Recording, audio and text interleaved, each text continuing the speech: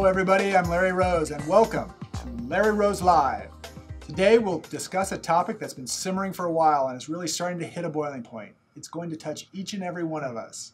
I'm talking about IoT, the Internet of Things. But what exactly is the Internet of Things? Does it provide value to business? Are organizations even ready for IoT? Joining us tonight to help us answer these questions and many more, Andre Kindness. Thank you a well-known analyst for Forrester Research specializing in business outcomes and IoT, and Heitor Faroni. Hi, Larry. He is Alcatel-Lucent Enterprises IoT architect and thought leader. So welcome, gentlemen. Thank you very much. Thank it's you. a pleasure to be here. All right, let's get started. Andre, what exactly is IoT and what value does it bring to businesses? You know, Forrester defines IoT as a set of technologies connecting mechanical and electrical things across uh, a network fabric or business network fabric. We saw the internet change the way businesses run. We've seen how mobile phones have changed businesses, and actually new businesses have risen out of this. The online businesses, or even inside of retail or hospital. There's so many things that IoT will change across all the industries out there. That's the most important thing. What IoT really means is it's a new business paradigm for a lot of these uh, corporations out there and these enterprise companies. So Heitor, let's talk about some of the benefits of IoT and exactly who reaps these benefits. Will it be businesses in terms of these new business opportunities, or will it be consumers? You know, when you talk about benefits of IoT, I think the sky is the limit. Mm-hmm. Um, and we're just seeing the start. We're in the very infancy of this phenomenon.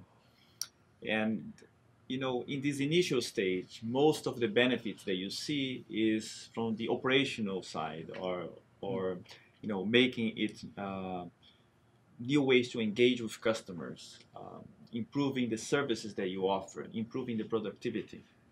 But as Andre uh, mentioned, you know, we're gonna see also in the future new business model coming up, new companies that we never imagined. So it's large potential. And the other interesting thing that I see is that uh, the push for this technology, this movement, is not coming from IT. It's not IT pushing to the organizations this new technology. It's actually the business units, the different divisions that see a clear ROI and are coming to IT and saying, hey, I have these interesting new devices that I want to connect. Please make it happen. So it's a change in the perspective how the dynamics work in, in the corporations. So it's going to have a big impact on IT as well as business units, and then consumers and the world at large will also uh, see a lot of benefits from IoT. Every day in our life, the things we use in our house will be completely different the way we interact with it. Already today, we have garage doors opening as soon as you start to approach them. So you can imagine this whole entire environment being completely different moving forward, this physical world really reacting to who we are based on this technology. How do companies get themselves organized for this?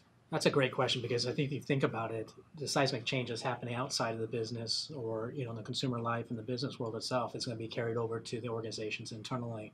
No longer are we going to have these demarcation zones of technology owned by IT, mm-hmm. uh, where the business kind of sends over the wall the things that they need, and then IT comes up with it.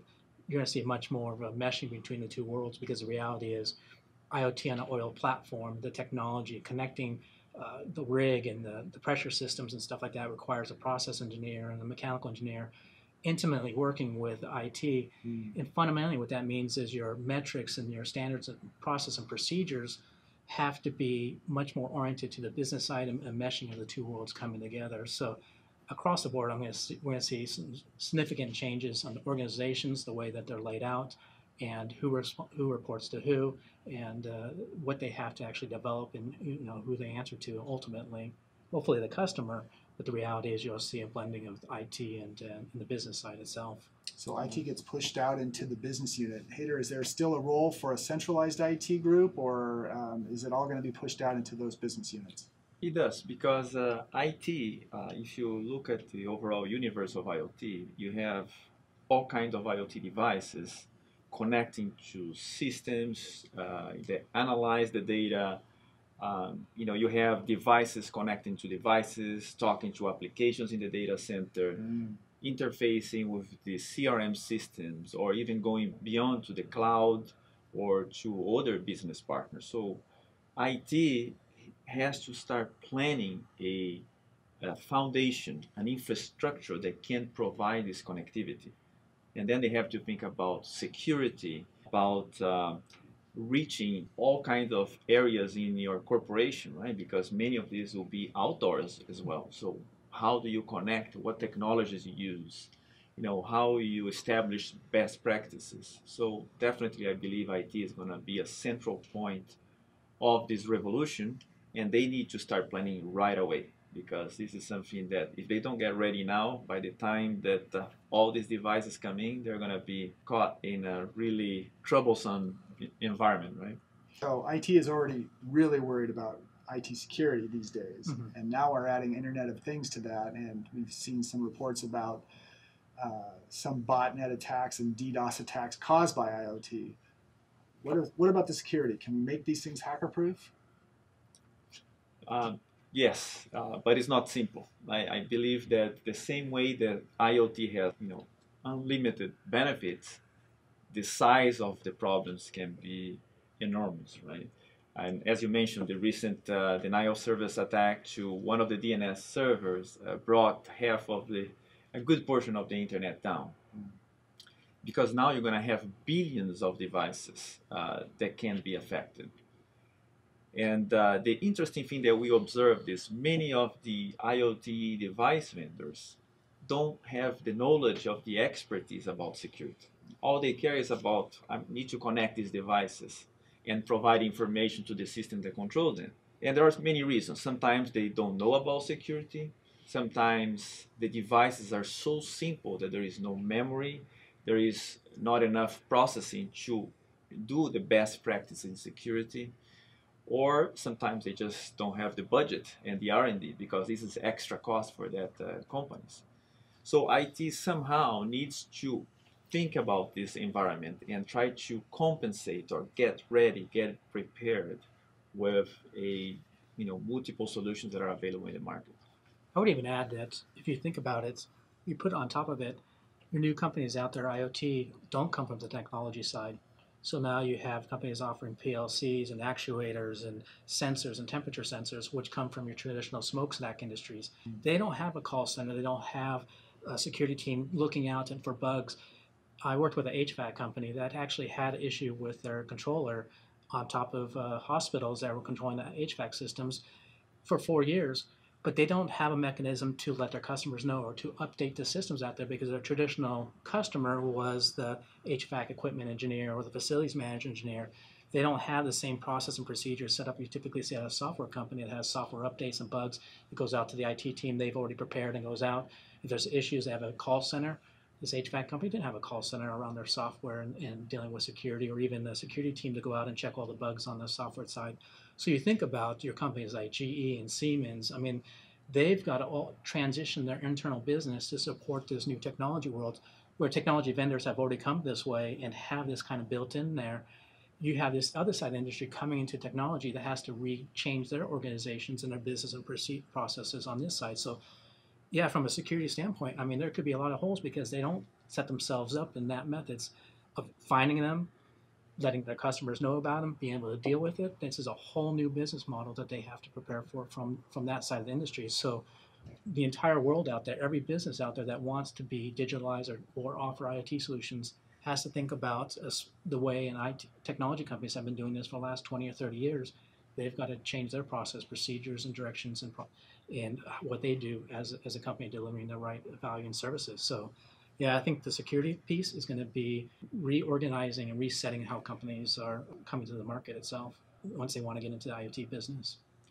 And now that you mentioned about uh, the air conditioner, I remember the example many years ago of Target, right? They Mhm. had uh, some people hacking or getting access to the network through the air conditioning system, and they end up getting the information, you know, the payment credit cards from millions of users. Right? And IT needs even to rethink the security techniques and uh, practices that they use because it's not enough anymore to just put a firewall and you're you're safe right you have to do what we call the multi-layer approach Mhm. where you know there are techniques today like from the network access control to IoT containment even DPI right so you have multiple techniques right to try to minimize the risk of a cyber attack right you're never going to be 100% but at least you can drag them down to a level that is, uh, you know, possible to deal with. Well, I think you bring up a good point too about that HVAC company coming into Target. The Reality is we were having this discussion earlier. The new business out there is about multiple companies serving that customer, right? So now with IoT, what about those light bulbs in there? Well, changing that business model, you see GE and Philips offering that they'll service the light bulbs and you just pay for what you use. They need to get into that network and they need to monitor things. If you have HVAC company getting into, what about the doors? What about the security cameras? Now you have multiple companies coming in and with IoT, and so you have to really create this multi-tenant environment. So that really changes the network architecture, the mindset, the process and procedures around that as well. So I mean, it's just it completely just resets. It's a revolution of the network and the IT infrastructure and the operations. Um, where we see what IT is going to be delivering to the business and ultimately, as you pointed out, to the customer and customer experience.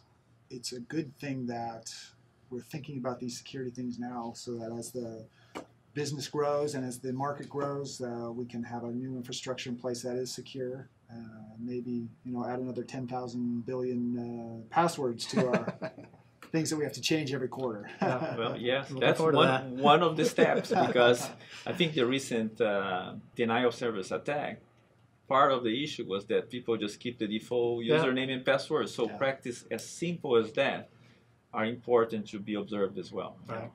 That's a lot of post-its around my monitor now. Your passwords. Yeah. Are there anything else that companies should think about as we enter into this IoT era? Uh, yes, and I think when you say revolutionary, people are underestimating how revolutionary it can be. And um, I believe that the IoT is going to be as transformational as, as it was the event of the internet and all the smartphones and enterprise mobility. You know, take examples like Uber how it affected the taxi industry, right? And many others, right? WhatsApp and uh, uh, Waze. So if you are not prepared, your company may even disappear, right? So this is something to be taken, I think, seriously and start preparing right away. I think it's spot on. It's a company's life and death situation now. Well, this has been a great conversation. When we come back, Andre and Heitor will take your calls about the implications of the Internet of Things later on on Larry Rose Live. Internet of Things for Hospitality, brought to you by Alcatel Lucent Enterprise. And we're back. We're discussing the Internet of Things with Andre Kindness from Forrester Research Group and Heitor Faroni of Alcatel Lucent Enterprise. Let's get to some of our callers. Caller number one is Professor Amy Smart from Sharp Minds University. Professor Smart, you're on the air. Hi, Larry. Love your show. I'm a university professor and I teach robotics. I'm always adding new devices and new technology to our university network. Everything from student fitness devices to temperature sensors in dorms and classrooms. However, I always have a dickens of a time trying to connect them. My questions are how are other universities leveraging IoT? And can I make the process simpler and more reliable? Great question. Let's go to the experts here. Okay. You want to take this? one? Yeah, Okay. go ahead.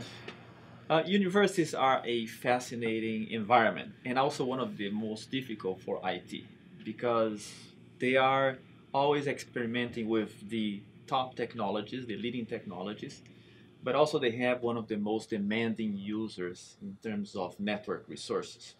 And uh, we've seen university already using IoT in multiple areas. You know, from the digital learning experience using all kind of audio video devices, you know, projectors, uh, cameras, smart boards.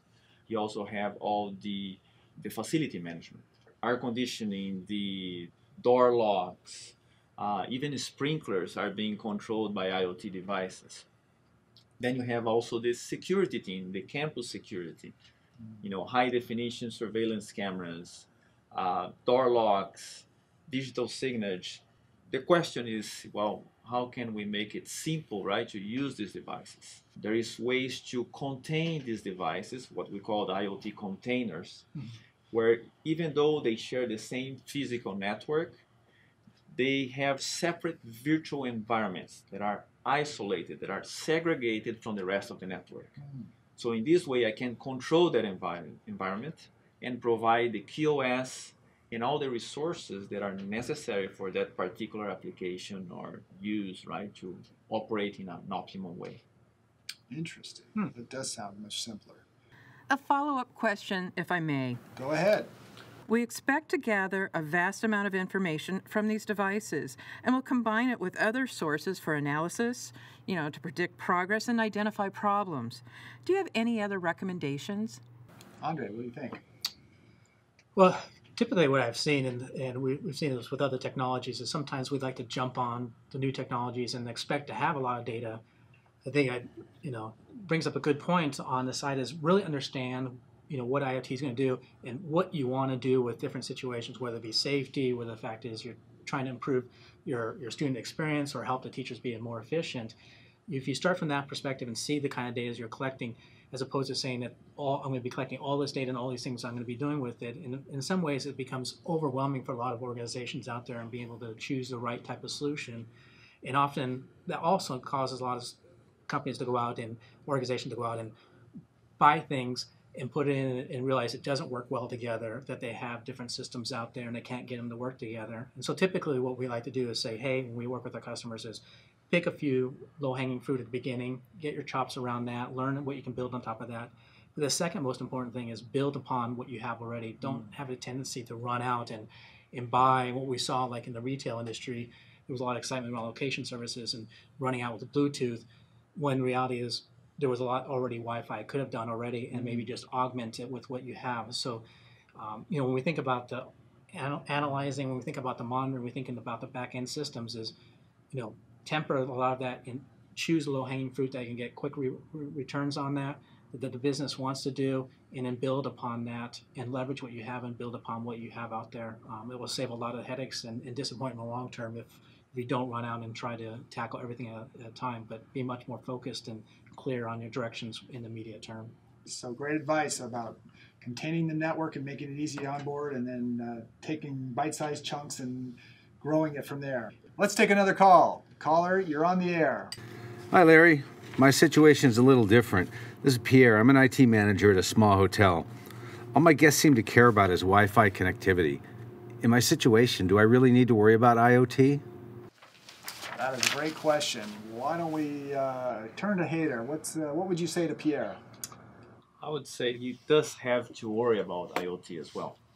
And let me give you an example. I went to Vegas recently, and um, you know that hotel offered me a online login from my smartphone hours before I arrived. So by the time I got there, you know there was no lines for me. There was this huge line for everybody doing the check-in. I went to a short line, got my keys straight away to my room. So every time I go to a hotel now, I think about that. And if I have to choose, you know, if I have the option, I'll go to that hotel. And a lot of the small hotels are boutique hotels that do a more personalized, a better yeah. customer experience than the large hotels. So there is multiple IoT technologies being used now uh, in the rooms, you know, for controlling the lights, the TV, um, cameras, door cameras, the curtains, um, you know, even the door lock, right, of, of your room. So there are plenty of opportunities for you to differentiate and take advantage of IoT. I would even say for the caller itself, so if you even look at the operational side of a, of a boutique hotel, at large hotels, their most expensive or largest resources is the humans cleaning the rooms and catering everyone. Usually, typically at a boutique hotel, you, you have less people on staff. But what's most expensive or one of their biggest expenditures is actually energy costs. Mm-hmm. So mm. having the ability of of controlling the lights and the air conditioning and TV when someone's not in the room, and not doing it in a way where you put the car key in the door and you and it's darkened and you're fumbling around and you're frustrated because at a boutique hotel you expect a wonderful experience walking in there. So why not as you approach the room with geofencing or with some of the Wi-Fi capabilities or location services that alerts the light bulb in the room to come up to set maybe even a certain color scheme that you prefer in the room itself, even set the temperature, and even having music, and they don't have to worry about the car key and fiddling around and and finding the lights in the room and stuff like that. So you know, from an IoT perspective, energy and customer experience, bringing that together is what will differentiate them versus some of the larger establishments out there. You know what they have to deal with from the expenditure standpoint. Sounds like a great way to save money, be more sustainable, and have a great Yep. customer experience. Yeah. All right, our next caller is calling from Las Vegas. Yo, Larry, Sal Baducci, IT director of a large resort and casino, and my question deals more with security. We deal with millions of dollars in cash and transactions daily, so security is our top priority. We keep our financial transaction network totally separate from our main infrastructure to minimize breaches, but it's overwhelming our IT organization. Any recommendations? What a good question. With all the problems you hear about hackers, Heitor, why don't you uh, give some advice to our caller? Sure. Yeah, he does have a very valid concern, especially with the amount of money they manage every day in a casino. And we've seen many of the customers having actually totally physically separate networks. Uh, but there are today techniques and technology to really be able to bring this all together in one common physical network, but still keep separate virtual environments. In these environments, you can control who has access, what devices, right, and what applications should be talking with these devices. And if for any reason you have a cybersecurity attack, you still contain the damage. Right? It doesn't spread to the rest of your network. And uh, one of the techniques, for instance, that we can do in that environment is use DPI to analyze the type of traffic you expect coming from a certain device. I'll give you an example. Let's say I have my, you know, the property security system with all the surveillance cameras Right. and I expect maybe a video SIP traffic coming from that device talking to a certain application. If all of a sudden I see a different type of traffic, I know maybe somebody's trying to hack into the system, spoofing the address, the MAC address of that camera. So I can immediately stop that from happening. So techniques like that can really help you secure your network even though you're sharing a common network infrastructure and saving a lot in your capital expenditures. Sounds like it might really help Sal. How about you, Andre? Any comments for uh, Sal? Well, I would echo the fact that it really does have to be one network, anyways. Um, the reality of this world of getting what you want wherever you're at is reality is you're going to be taking security camera information. Um, you might be might be about a customer where they're at and feeding into some location service, not just from a security standpoint, but tying in the tying in maybe a slot machine and tying in different pieces of information so you understand that customer what they want wherever they're at and be able to deliver the right service at the right time. And you cannot do this if you have separate systems physical systems and then try to you know hodgepodge it in the back end of the system. It has to be one network. And so then you know it goes to the point of creating these containers and these virtual containers and virtualize different parts and separating them out. Iot is the catalyst for these virtual network functions. Being able to spin up things as customers move around, as operations move around, as things change in this environment throughout the business, that you're going to need to put, um, you know, orient traffic, but spin up security firewalls. You know, if you do have start to see some bad uh, traffic going on, you, you want to reroute the traffic in this area, and you don't want a firewall just sitting there or a piece of hardware sitting there idling and wasting money. Why not do a pay per use? Why not be able to spin up a software instance of it? Or even just use it to create micro perimeters around certain data and certain things in different areas, depending on how you're identifying each one of these areas. So the reality is, one is it's going to be one network. The fact is, you need access control to identify. You use different security aspects in it, and you'll be tying into these other areas that will be able to be much more agile and flexible to be where the business needs to go and react to it in this casino environment because it's slot machines, it's the food court, it's the um, entertainment, it's creating. And Vegas is all about creating an environment, creating a certain field, and that's why people go there.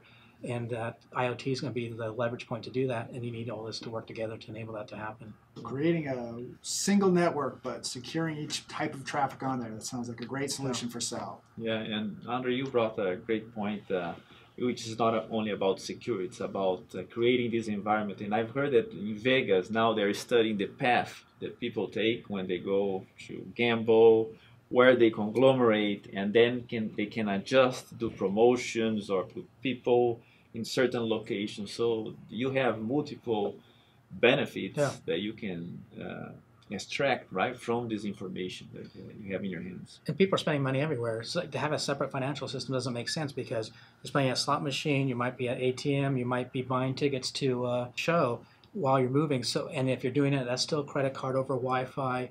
You're still using maybe Wi-Fi to um, to work with uh, some of the facilities, and even digital displays are going over Wi-Fi. And you want to know where a person's at. Digital display changes based on the type of age group or or uh, group walking by and, and advertising those areas. So the financial aspect of it is they're spending money everywhere. It's you know it's happening all ubiquitously throughout this environment, and uh, so it's it's a it's a combination of security, financials, you know everything is meshing together.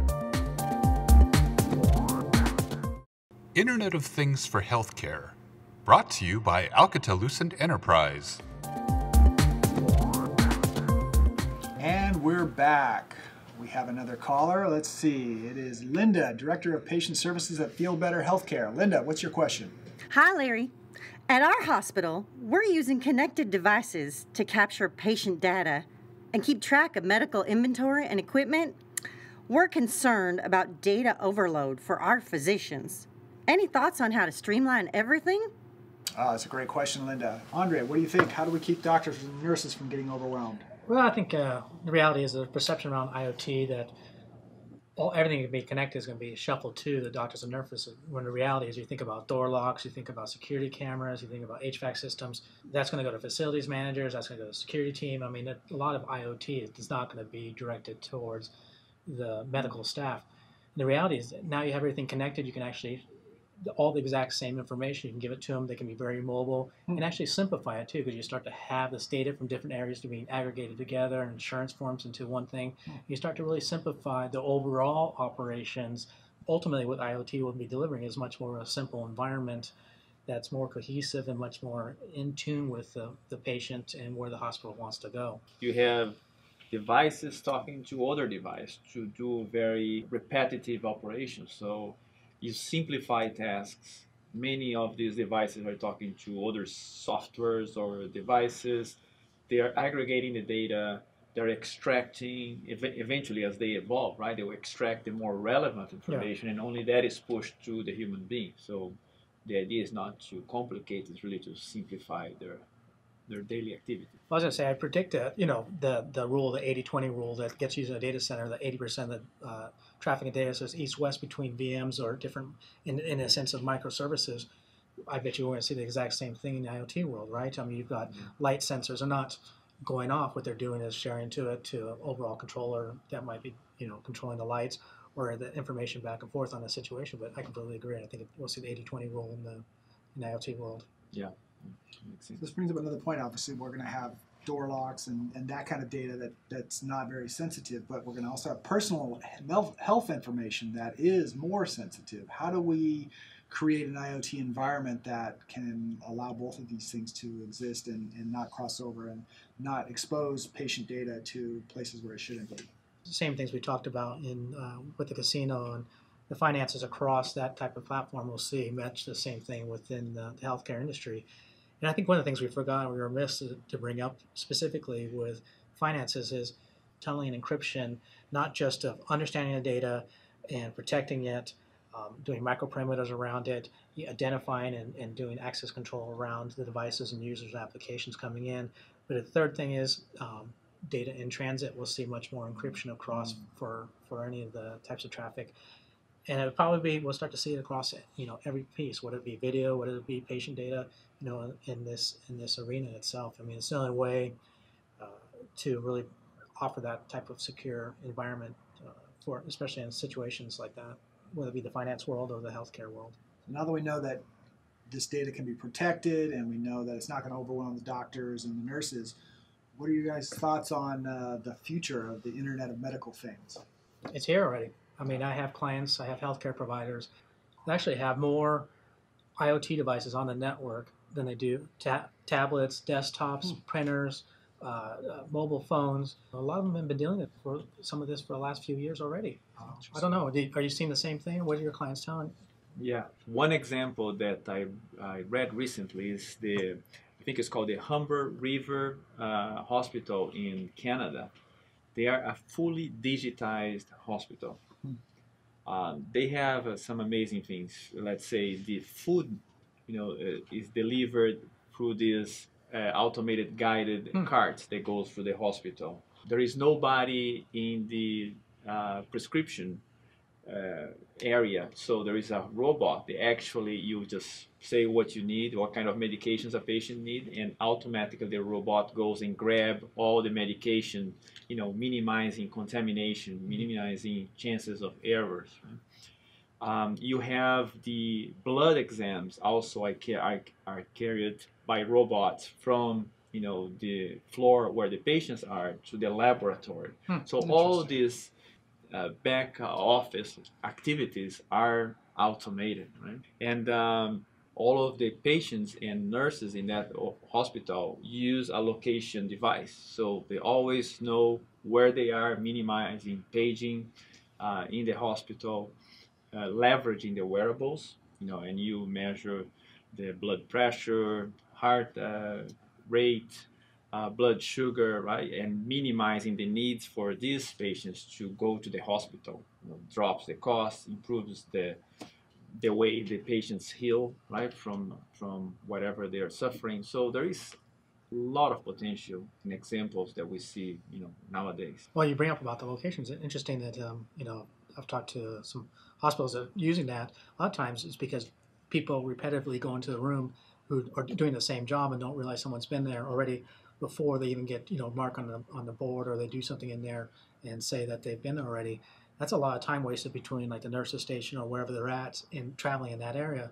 You think about per dollar hour for that uh, medical staff. That's expensive and that's a huge savings when you don't have that redundancy. Three or four people going to the same room realizing someone's already been there, or even in an emergency situation, you only need you know two medical personnel as opposed to six running into the room. Uh, you know, we hear these things all the time on, on what these IoT situations can deliver for an institution like that. Transportation and the Internet of Things. Brought to you by Alcatel Lucent Enterprise. And we're back. Okay, next up is Jim. He's an intelligent transportation system director for the Department of Transportation. Jim, you're on Larry Rose Live. What's on your mind? Hi, Larry. I was wondering about transportation. Could IoT help end traffic jams and congestion? Well, let's see here. Every day, automobiles are coming smarter. Some can even drive themselves these days. Are we heading down the road to Carmageddon, or can IoT make driving more efficient? Well, I think IoT can and is already helping, you know, our freeways and our driving experience.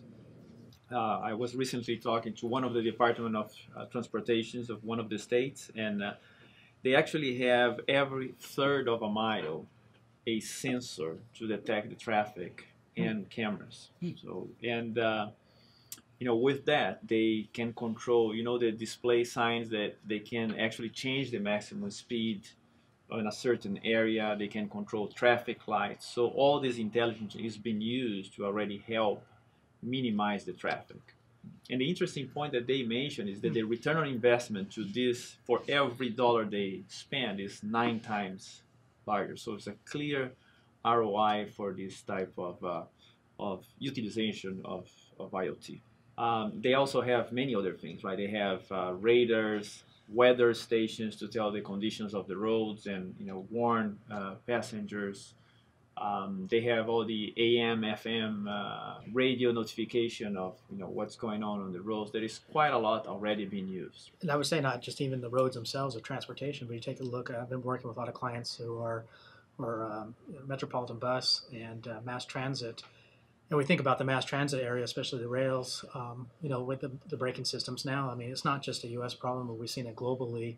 And the fact is, is that humans are just not good enough to control some of these vehicles from a safety perspective, and so you see uh, the braking automated braking systems being rolled out.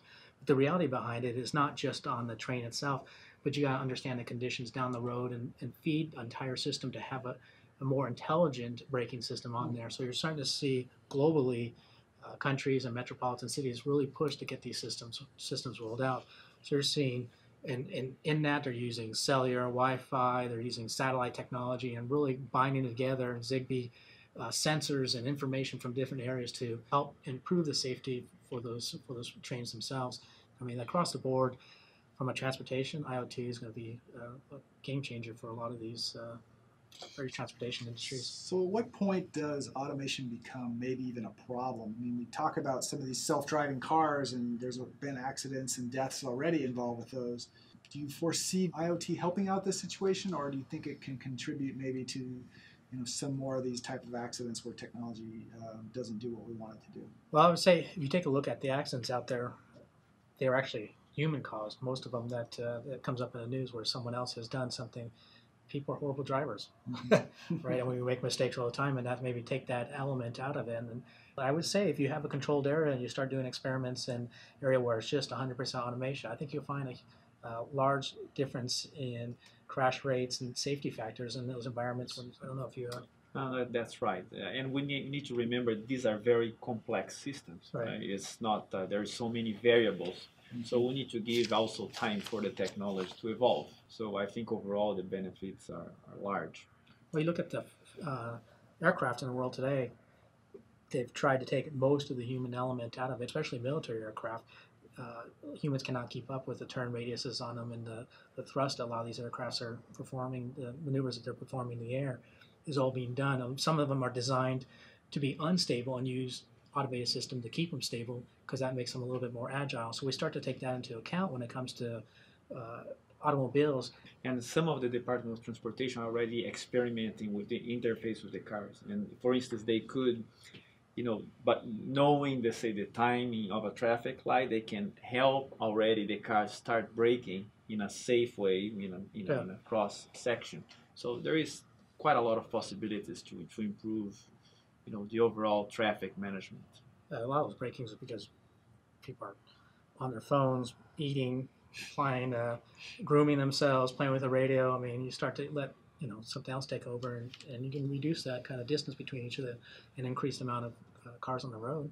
Well, I'm kind of glad I went to see Sully before uh, all the pilots were replaced by IoT. Jim, did that help out? One more thing, Larry. Go ahead. Well, we're always sharing surveillance footage with law enforcement, but we'd like to limit that information to only what is necessary. Can we limit what is shared with others? Ooh, good question. Privacy is a big issue here, not to mention just the sheer amount of data that you have to sift through. Heitor, any thoughts on that? Yeah, that's actually a very interesting question because uh, you know many of the departments of transportation they don't operate like a traditional corporation, right? Where they only are concerned about their own domain. They only they control their own domain. Uh, these entities they do have to share information with other public entities. You know, think when you drive your car, you cross from uh, one city to another, from one county or from one state to the other. So they all have to share information so they can keep the flow and information going. One example, as, as he mentioned, right, is the surveillance cameras, right? Uh, you may have to share that with the first responders, with the police department. Uh, and there are, you know, again, techniques that can virtualize this, segment these uh, logical functions into your network. And then you put let's say the surveillance cameras in one segment, you put your radar information in another, um, you know, the traffic lights in another. And this way you can pick and choose what you want to share in a secure manner. And another thing is these departments have to try to uh, search for technology that is simple to operate because they are running very slim. You know, this one of the states have only four people in their IT organization Wow. to, to manage the entire state. So you imagine, Wow. yeah, it's critical for them to think about how simple it is to operate the network. How can they easily share and collaborate with others? Hmm. And, and keep in mind that sometimes they have to reach outdoors and provide connectivity in areas that are very harsh. Right? They're in the middle of the roads. Yeah. So uh, yeah, it's a very interesting um, situation that they have, but there is definitely technology to support that. Well, terrific. Andre Kindness, analyst from Forrester Group, Heitor Faroni, uh, Alcatel Lucent Enterprise IoT architect. Gentlemen, thank you both for Thank you. joining us today. And um, until next time, this is Larry Rose saying good night.